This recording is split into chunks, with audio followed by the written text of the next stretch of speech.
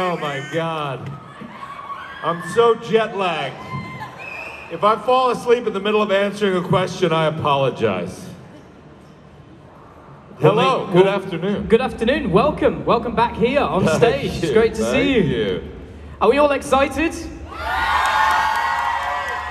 Now, I must say, I know you're very jet lagged, but there was a lot of people outside before queuing up. So, so excited to see you here in Abu Dhabi. Make some noise for Abu Dhabi. Come on, it's great to have you here.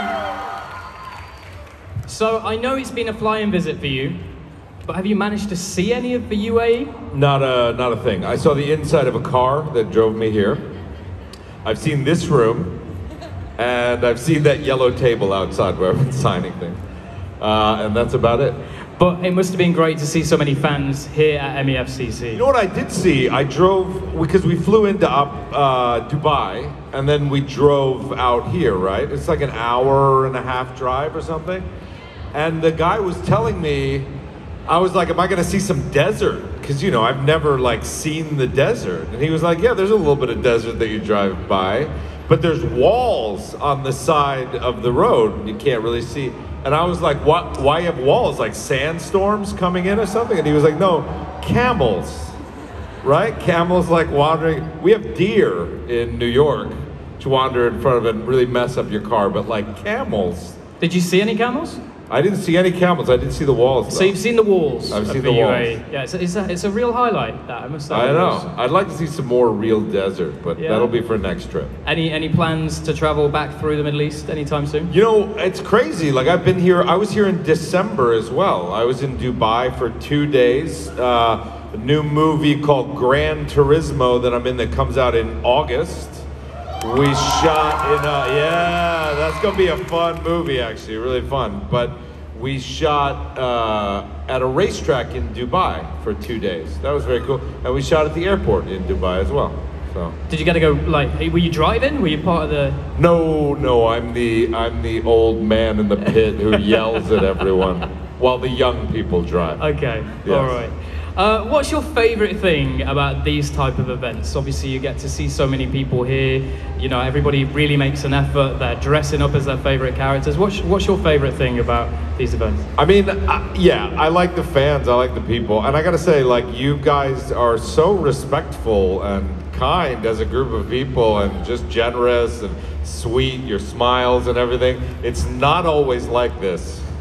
Sometimes people are weird and horrible, but none of you have been weird and horrible. It's like really like you're like really like lovely people. So thank you. Uh, and you know, I mean, that's really what it's all about. Is I'm so appreciative that people love the same stuff that I love, like Stranger Things and Marvel, and so appreciative that uh, you know you guys have welcomed me in. The fans have welcomed me into these communities, and like what I do, it just uh, it just means so much to me to just see the smile smiles on your faces, and it's just such a beautiful thing. It's always what I've wanted to do as a human being was touch people with acting, and uh, you know when I see this here, it just makes me feel like I've I'm like living my dream. It's a beautiful, beautiful thing. So I want to thank you for that.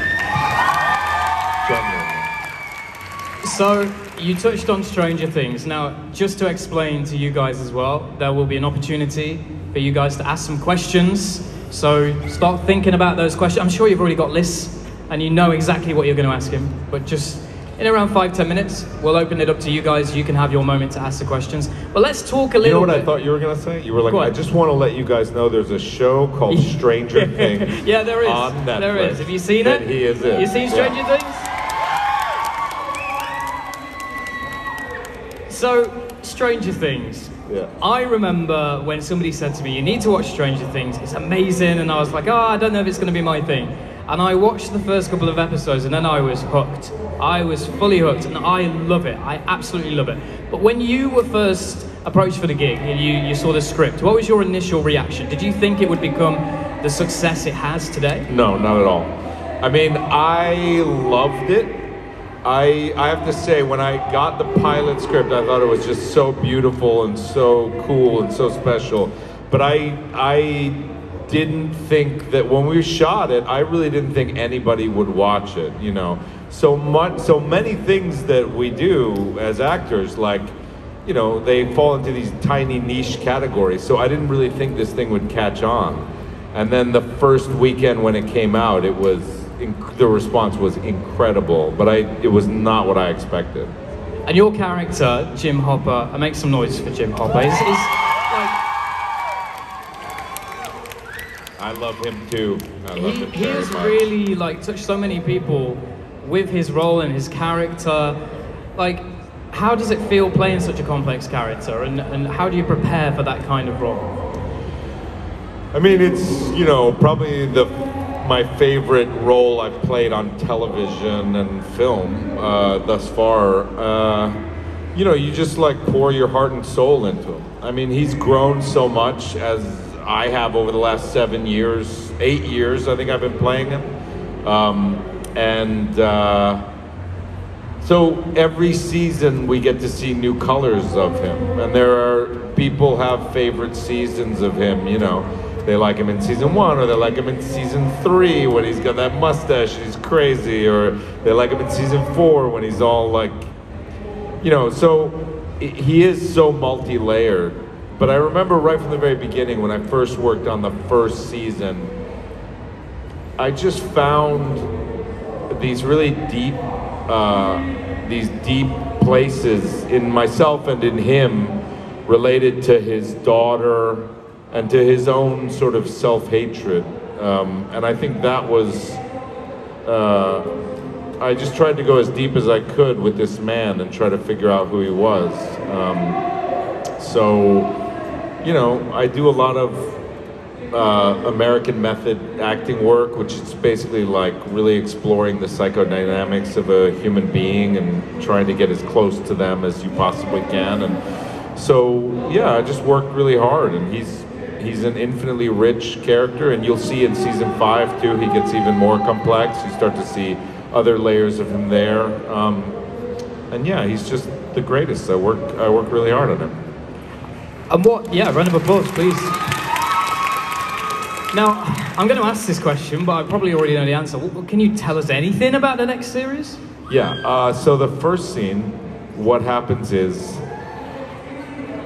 I'm not gonna tell you. I mean, well, well you don't want to know. You don't want to know. You don't want to know. You know you don't want to know, because it's it's so it's annoying that I can't tell you but it's also so great, isn't it? Because I wish, I sometimes wish I couldn't read the scripts. Unfortunately, I have to read the scripts and play the role, but I'm so excited to know this secret and to have you just watch it. I mean, you guys must have felt this about season four when that thing came around. It had been years since we'd released anything. And when that thing came around, I remember people being really snarky online about, like, oh, what, we don't even remember that show. And then when it came out, it's just such a wonderful show. You just churn through those things, one after the other, like, all right, one more episode, one more episode. And so this season will be no, no less like that. But I, you know, I don't want to give anything away because I want you to have that pure surprise, and I'm, I can't wait for you to see it. What has been what's been your favourite part of Stranger Things? Whether it's just being in the show and being surrounded by so many amazing people, the reactions to fans, maybe your favourite scene. What's kind of been the highlight of the whole Stranger Things experience and, and life for you? I mean, it's hard to pinpoint, I guess. It's all of that, you know. Uh, it's uh, the scripts are so good. The Duffer brothers, Matt and Ross Duffer, who create the whole show and write all the episodes, um, are brilliant. My fellow cast, uh, Millie Bobby Brown, and right, uh, that little weirdo Finn Wolfhard. Um, Gaten and Caleb and Noah, uh, Winona Ryder, and uh, you know, I love them all, and we're like a family now, and I continue to be awed and inspired by their work. Um, it's just such a wonderful environment to work in, and then the real cherry on the top of the sundae is the fact that it touches so many people. And I, I feel that, you know, what's great is like you know, there are a lot. There are people out there that are kind of celebrities, right? Like you know this person because you've seen them on TV, or you know this person because I don't know they're on Instagram or whatever it is. But for me, I really see that like when people come up to me and they talk to me, a lot of times it's for that show, but they've really been touched by the character of Hopper as opposed to me. Uh, and that's so beautiful to have been able to do to people, to move them with a story and a narrative like that. So that's really the cherry on top for me of the whole experience. I want to touch on as well, you mentioned your fellow cast. Obviously, you've kind of become a part of their lives from when they were super, super young, and has kind of watched them grow up. Like, you must be proud of, of them as well and what they're achieving and you know that, that kind of role that you've got as a, as a fellow actor but somebody that they can look up to as well. Do you feel like a, a, a little bit protective over them? Yeah? Oh god yeah. I mean i am awe i am in awe of what they've accomplished and what they've done especially at how difficult it is i mean you know they started this when they were 11 years old and i think of someone like millie like you know, she started that part when she was 11 years old, and that first series came out, and she was so brilliant in it, and the world fell in love with her to such a great degree, and then all this attention is showered on you, and it really does a number on you. Like, even me, it happened to me when I was 40. And even then, it's like it does a number on your mind. But to be so young and for them to have weathered it so well and to have created all this rich, new, interesting work, uh, and the fact that they're just you know, out there making good movies and stuff. I'm just so proud of them. I'm so proud of them. Okay. I'm sure there's going to be so many more questions about Stranger Things, but I want to leave some of them for you guys. Okay, so we'll come to you in a few minutes. First, I want to talk about Marvel and the Marvel Universe. So, Black Widow. How did that come about? And what's it like now being part of this Marvel universe and world that, you know, you come to events like this and you see how seriously people take it? Yeah, I love it. I mean, it was kind of random. I just got a weird phone call. They wanted to meet me at a restaurant about some project, and it was uh, Cate, the director, sat me down and described the whole script to me. She said she couldn't give me a script, but she described the character and you know, was with Scarlett and Florence, and at that point, Rachel Weisz had signed on to play Melina. And it's kind of like a dream come true. You hear that cast, and you're like, whoa, okay. Uh, so, yeah, it just went about very quickly. I think I came on board, and then two months later, we were shooting. Um, and, you know, it started to unfold in a mysterious ways because you do get involved in this family. Like, most of the time you just do a movie and that's the thing. But this, it's like you're involved in a whole universe, right?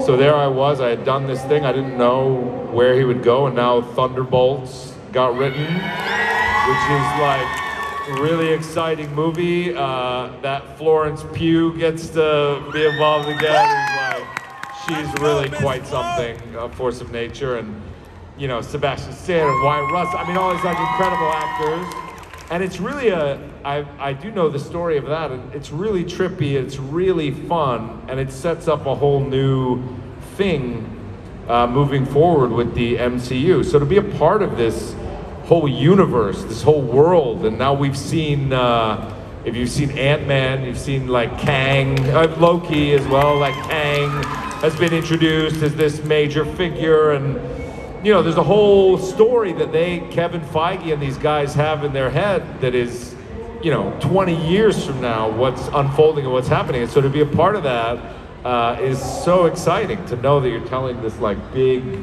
big landscape is really exciting. And Thunderbolts is 2024, right? We're shooting it this year and it comes out, yeah, next year, I think July. Okay, July next awesome. year, August All next right. year. And obviously, being part of shows like Stranger Things and now you're in the Marvel Universe, uh, how does it feel like seeing you in this kind of form? you know what? To be honest, it, it, I don't feel it at all. Like, I used, like, for about when, when you first months, saw it, were you like? Yes, for about three months, and now, like, I like you love the character of Hopper, and it's almost like I don't even see myself anymore. Like I just see Hopper, and I'm like, oh yeah, that, that, that character's great. So like, whenever I see dolls of You've myself, detached like- yourself from it yeah, it's just well. like it's just like a character that exists in the world, and Yeah. and honestly, like he's as much yours as he is mine. Like you know, he But this- belongs to you as, This a, as this character. this one isn't because this was super rare. And, and I had to find it out there, right? So this is mine. That one belongs to him. This one belongs No to one's me, allowed to take right? that. Um, and I was wondering if I can be a geek and get you to sign it. However, No. however, hold on, hold on, hold on. This one, this one might be for you. And what I thought we could do was have you sign it, and then one of the best questions we give away the signed Hey, figure. I like How that. about That's Yeah? a good idea. Okay, so I come prepared. There's a pen. Amazing. All right. So you can sign this for one of our amazing audience. All right. And what we're going to do is we're going to go around the room and, and you can have your moment to answer some questions. So have we got people with microphones? Amazing. So I'm going to pick two people first of all, and we'll kind of do it in twos, okay? Just for speed, so we can get through as many as we can. So first of all, I'm going to come to you on the front with the with the ears, and then uh, we'll also go on the front row. Have you have you broken your arm or is it costume? It's costume. Okay, great. All right. So again, on the front row, and we'll we'll start with you. If you want to start with your question. Thank you so much. Uh, so the question is, other than your beard, what is something that you had to change in you in order to become Jim Hopper? Oh, it's a good question. You might be receiving this doll, but I have to wait and see what other people. Uh, what something I have to change? Um, um, I mean, he's. Uh, I'm more self-aware than he is. I'm more. I kind of know what I'm feeling a lot more, and I I don't act out as much as he does. So there's a bullishness to him in good and bad ways. Like he he'll jump in front of a bullet for someone in a way that you know he'll he'll fight that Russian guy in front of that machine and know that he's gonna die. Like I don't do that. Uh, so so there's a certain bullishness and a certain like non non-frontal cortex that I have to get rid of, and I have to. He just is. He's reactive, you know. He just like lives in a way that I don't. So that's the thing I change. All right, great question. We're going to come to you with the broken arms, and then can we get the second mic to the girls at the front here as well? Don't worry, we'll get to you all. We'll get to you all. Alright, so uh, what was your emotional connection to the cast of uh, Stranger Things? Um, I love them. You know, I think they're great. They're uh, they're very sweet, very hardworking. All of us, we work really long hours, and we're like a family. And I mean, that's good and bad. You know, we're a family where we get along, we love each other. But I think like anybody who has a family knows, you're no one can annoy you like your family can annoy you. And uh, we have that as well. You know, we get in little fights and spats and all that stuff, and uh, it's just great. There's just a deep, deep connection between all of us because we've been at it for so long and we love each other deeply. All right, thank you for your question. We're going to come to the girls in just a second. And next, Mike, uh, there's a guy with a jacket on and his hand up. Uh, so the microphone to him next. And girls here, do you want to give us your question?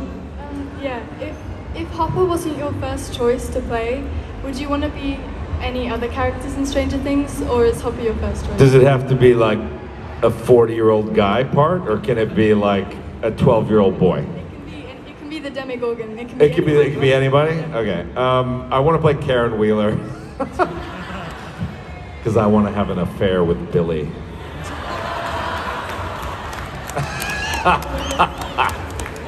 I just want to like get in a bubble bath and read romance novels. That's actually all what I really want to do. Very good. Very Wow, good. that got applause. You guys are weirdos. All right, so uh, we will come to next uh, lightsaber guy because it's really obvious. Uh, and we've got the guy here with the jacket. If you want to ask your question, perfect. Hi, I'm Ali. Um, first of all, this is a pleasure and an honor to be standing in front of you. And you've inspired millions and millions of people through the characters that you played. I want to know who inspired David Harbour? Who started that spark in him to be David Harbour today? Uh, wow, that's a great question. Um, I I'm inspired by so many people. Uh, I mean, it's hard to it's hard to say. I tend to fall in love with tons of different actors. I guess when I was young and I was in New York, um, there were a couple things that I saw. First was Kenneth Branagh came out with a movie when I was in eighth grade. I was 13 years old called Henry V. Uh, it's a Shakespeare play, and I that inspired me so much. Um, and then I started going to Shakespeare in the Park in New York City, and I saw Chris Walken and Raul Julia do Othello, and that was another uh, experience that just blew my mind. So there's a lot of plays in New York that I saw when I was a kid, and I was really a theater actor up until like my early 30s. I've done like tons of plays in New York, so it was really a lot of theater actors that I, I really loved. Thank you. Thank you for your question. Uh, so lightsaber guy is next, and then we're going to come to this side. Uh, yeah, you stood up jumping around. We'll come to you next.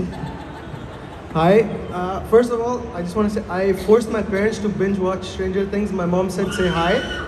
Uh, and I wanted Mom. to ask, you've, you know, now that you, you're in the MCU, you're playing a character, Red Guardian. He's existed since the 60s in the comics. So have you gone through any comic book history and com- read Thunderbolt comic books or seen, you know, what the future is? Yeah, I mean, you know, the MCU has a way of turning things on its head a little bit when it comes to the comic material, and I like that. The interesting thing about Red Guardian is he's kind of obscure in the comics. Uh, and also, at one point, Red Guardian was a woman. Um, Alexei Shostakov was the husband of uh, Natasha at one point. Uh, you know, he also becomes Ronin at one point. He dons the Ronin garb. Uh, he's sort of all over the place. He's also not in Thunderbolts, which is he's not a character in Thunderbolts, at least in many that I've read. Uh, so I like what the MCU is doing with him with me. There's something very specific that you'll see uh, that they're doing with me. And you know, a lot of it's related to me and Yelena's relationship, which is uh, really great and really special. Um, but they're doing a tricky thing with him in a way that comics don't. Uh, so I'm in a unique position where I don't, you know, it's not like Captain America or Iron Man or something where there's a ton of material. And what they're doing is very different. So I have a lot of freedom. In that way, I consider it kind of a fun thing that I have all this freedom. All right, thank you for your question. Uh, you got the microphone? Okay, and then we're going to go over to this side and on the front row in the purple. Okay. Hi, how are you? Good. How are you? I'm so excited. Oh my god. Um, my question is, do you pick up habits from characters you play? That's a good question. Um, uh, uh, I don't know if I pick up habits. I learn things with each character I play. I definitely learn things from each character I play. I had a, I was smoking cigarettes when I played Hopper the first two seasons, and then I quit after the second season, and then in season three he smokes a lot, so I had to smoke those herbal cigarettes. So um, that's the only habit I've had to give up with a character. But I learn things from, from every character I play, but I wouldn't say I pick up habits. No. All right, thank Good you for question. your question. We're on the front here. Yeah. Um, I feel like you might know the answer I want to hear, but um, out of the, the fellow Thunderbolts, who are you the most excited for the Red Guardian to interact with? Oh God. I mean, they're all great. You know, I, I mean, clearly, like Yelena, Florence, and I is like she's very special. I really like my relationship with her. I think there's a lot there to unfold. I'm really excited about that. But on the newer side, uh, I really dig that Wyatt Russell kid who played the like patriot, bad Captain America dude in the Falcon and the Winter Soldier. That guy's just creepy and horrible. I love him. Such a sweet guy too. But I'm really excited to see what those two characters would uh, make of each other. Yeah. Um, can you imagine the Red Guardian and the Winter Soldier trying to talk about Captain America? How sarcastic Bucky might get when the Red Guardian tries to talk about Captain America? Uh, you might see that happen. Write your fan fiction. It better happen. All right. All right, can you pass your microphone to the guy in the red hoodie behind you, and then we're going to come to the middle, of the girl on the second row on the aisle with the phone. Okay. So you first. Yeah. Uh, if you had to change one thing about like Hopper, what would you change? What one? Will I have to change one thing about Yeah, him? like, uh, one of his like personalities. um, one of his personality. I mean, I think that he's going through a change in and of himself during the show. You know, like he he sort of um, he's got this trauma with Sarah, and I think it's making him kind of a real. I mean, he's deeply loves and is traumatized by it. So, but it also makes him kind of a jerk. You know, like he's kind of too mean to Mike and Eleven, and he kind of was out of his mind in season three. And so when he lost it all and had to sort of die and go into season four and shed all this thing, he, sort of starts to realize these things about himself that he wants to change, and he wants to become kind of more aware of of how he how he affects people. And I think that going into season five, we'll start to see some of those layers of skin shed. All right, thank you. Uh, I feel like we need to go to the back as well. So, who's who's got the microphone again? Where where was it? Oh, the girl on the front there. And then we're going to go right to the back. The lady stood up waving at me like that. Yep, you're next. Don't worry. Okay, girl on the. Have you got the microphone? Um, first of all, I am a big fan of you, and I love you so much. And Thank I'm you. literally shaking. Um, I'm so happy that I get to see you today. Oh, thank you. And I wanted to ask, how did you get into character, like in the beginning of Stranger Things? Like, how did you, um, yeah, how did you get into character? I mean, I have a very complicated process uh, about acting based on something called the American Method System of Acting, which was created by originally by Stanislavski, but then passed down to Strasberg. But basically, what it consists of is me sitting in a room without my cell phone and without anything for hours and just relaxing my body, trying to experience what I'm feeling right now, and then trying to do some work to maybe the sense work to change it to maybe feel like what Hopper might be feeling. But it usually just consists of a lot of focus, concentration, and relaxation, and uh, a lot of staying away from distractions like your cell phone or things like that, and trying to really focus and just be present. All right, great question. Good question, yeah. Thank you. Uh, and we've probably got time for two, maybe three more questions. The guy with the hat waving, you're up next after the lady at the back with the microphone. Okay? Hi, David. Can you see me? Yay, I see you. Um, take your time, take your time. um, so my question is, um, we asked the fans. We were waiting for David, uh, for Hopper and Joyce to be together for so long, and it finally happened. Yay! So my question is, were you frustrated as we were? Like, Was were I you as frustrated as you were? Yeah, for all Yes, like, I through was. the season. You saw that red phone rang just at the right moment. Um, yeah, it was. Uh, you know, it, it's been an exciting ride because the Duffers and I have been talking about this from season one. There's I a. can't see you very well. Can Oh yeah, you can move. Uh, there's a. The Duffers and I have been talking about it since season one. You know, when the they, you know, Hopper. They talk about how they were in high school. They had dated. Uh, one of the cops talks about that, and so we knew that this relationship existed for years. And it's been like six years we've been shooting this thing, talking about it.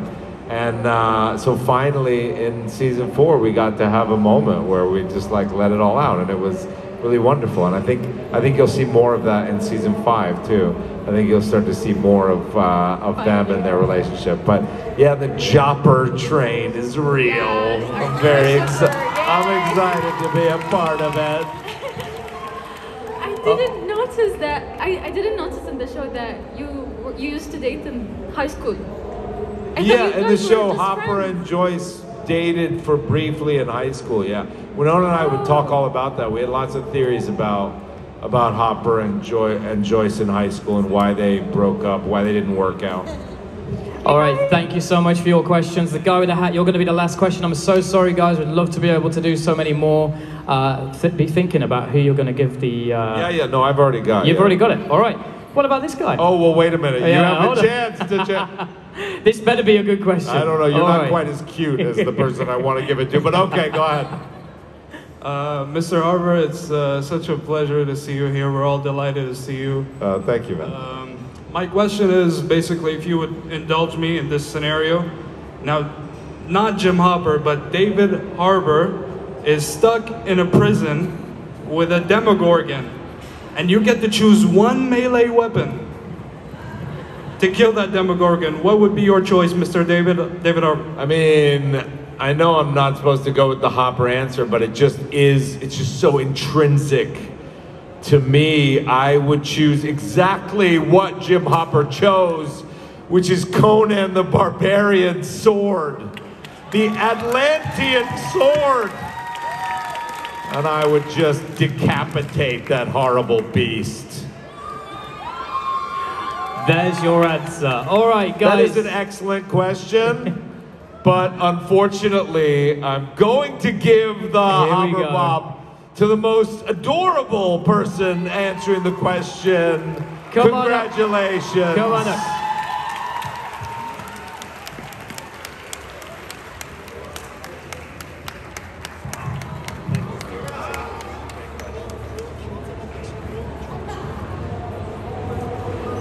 Having a picture as well. Let me get out of their way. Guys, thank you so much for being here today. Please make some noise for the legend that is David Harbour. Thank you so much. Enjoy the rest of Comic Con, and we'll see you.